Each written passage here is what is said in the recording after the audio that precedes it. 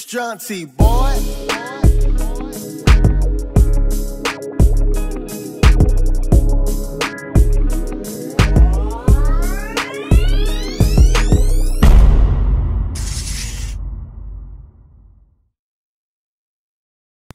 Yo, what's going on YouTube? It's your boy Jaunti. Welcome back to the channel. I am back with a new video. I hope you guys had a nice weekend. For me, I was a little under the weather again with a little sore throat. But your boy's coming back strong. Anywho, for this video, we're to be talking about something that I've been getting into a lot of situations with with my clients lately. I'm not doing this just to bash them at all, but this is more of a a tip video for anyone who doesn't want to make any mistakes while they're recording. But before we get into that, you know I gotta do a Funko Pop of the day. Now, this is nothing new. This is Shirley Bennett from Community, which I revealed last week. But the reason why I want to reveal her again is because I finally got it autographed by Yvette Nicole Brown. And that's proof of it being JSA authenticated. Yep, Yvette Nicole Brown. She plays on a lot of sitcoms, a bunch of films, and she don't get the credit that, that she deserves. And I decided to get this signed by her. I finally got it signed, so shout outs to her. Okay, now for this video, it's nothing personal. It's just a I want to make sure that whoever watched this, whether you're an artist, an engineer, or an aspiring musician, whatever the case may be, I want to make this video for you guys so you guys won't make the same mistakes that I've made or anyone else made. Because you know, music is a trial and error process. You're going to make mistakes eventually. You know, it's inevitable. You always make mistakes, but you take those mistakes and you turn them into lessons so you won't make the same mistakes again. So, by all means, I'm going to give you guys some tips on how to record the proper way. Now, the first tip is mic placement. When you're recording, make sure you're not recording behind the mic because I've dealt with that before, probably my first or second year of recording. Um, I've always wanted to make sure that, that the microphone was in front of me because I used to have microphones that wouldn't turn all the way on the, um, the microphone stand. So there were times that I had to move a little bit to the side so I could face the microphone directly so with that being said, always focus on mic placements. Make sure you're facing the diagram of the microphone. So in that way you get a full and natural sound of your voice. The second tip is monitoring your levels. When I say monitoring your levels, check the metering on your DAW or your mixer. Make sure while you're recording, you are in the sweet spot. Don't go past negative six. I would say negative six as the highest and negative 24 as the lowest. I would never recommend recording that low because if you do and your and, and, and, your engineer is is mixing and he's forced to turn it up or add more plugins that's going to increase the volume, it's going to turn up the noise floor. And if you record too loud, that's going to create distortion. You're damaging the audio signal which is there is no way to fix that besides re-recording your vocals. I've had so many clients of mine that always make the same mistake, and I always tell them you gotta re-record it. The third tip is not to be too close to the mic or too far from the mic while you're recording. Because best believe, if you're too close to the mic, you're creating a proximity effect on your vocals.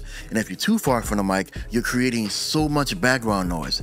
And I recently had an artist who recorded everything, pretty much an, a 12 track album.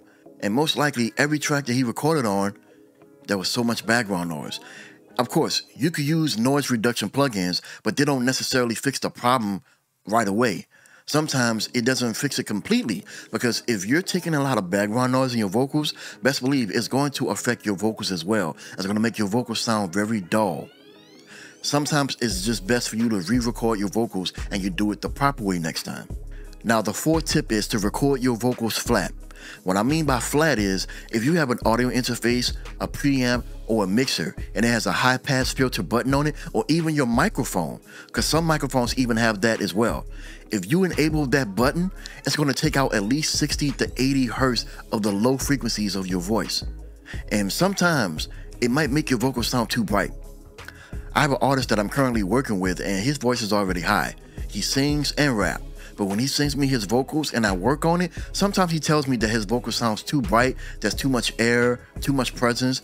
Sometimes he even tell me that his vocals sound like they're, you know, they're coming from an intercom. Best believe, that's because he doesn't have any bass in his voice. And I'll show you for instance. As you guys can see, I'm using the F6 RTA plugin from Waves and the FabFilter Pro Q3 by FabFilter. And I'm playing them both at the same time. Now I want you guys to pay a close attention and look directly to the left side of the EQs. Say them east side girls, bust it open, bust it open. Say them west bank girls, shake on the stick. Did you see anything popping from the left? That's because he's lacking bass. Now, if you are a recording artist and you don't have any bass in your voice at all, that could be a problem. Some people might argue, why not just turn up the bass? And boom, you have a little bass right there. But if I boost so much bass in someone's voice that doesn't have any bass in their voice at all, you could create background noises as well. So you got to be very careful. Same thing with the Pro Q3. If I play it back, Say them east side girls, bust it open, bust it open. Say them west bank girls, shake on the stick. Not much volume is coming from the low frequencies in, in this range here. I would say this is about 40 kilohertz, just about between 40 and 50. Not much bass is coming from that range, and that's not good. So for anyone who's recording their vocals and they have buttons where it can make things easier for them to, to get a, a better sound that they that they're trying to aim for, I would highly recommend recording your vocals flat. Same thing for this microphone. It has a high pass filter feature on it. I put that on so I want to make sure that my voice is not too deep because I already have a I already have a lot of bass in my voice. And another reason for you to record your vocals flat is because it will give you a very authentic and natural sound from your voice. It will be your true performance it would be easier for the engineer to edit, to mix. It would be easier on me if you think about it. Last but not least, I would say record in a nice room. A room that is, that is acoustically treated very well. Me, I like to record in, in, in my closet because I have books, clothes, and even boxes that can capture your voice if it spreads out. If you do that in an open room, your, your, your vocals are going to spread out even further, creating a whole bunch of background noise. It's gonna it's gonna create a lot of space between yourself and how far your room is. Trust me when I say don't do that. I would even recommend using a Kaotica eyeball. Try that because it works. There are so many people that I work with that don't know exactly what they're doing. Some people think that recording music, pretty much making music, is supposed to be an easy job. It isn't. Trust me. Same way for mixing, mastering music, it is not easy. Nor is it as hard as long as you know what you're doing. And, and this is a little extra tip I want to give to everybody that I'm working with or for anyone who works with other engineers.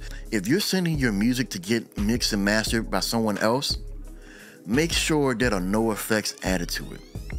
Because trust me, I've had so many artists that send me their music and they sometimes accidentally leave certain pl- certain plugins or certain effects.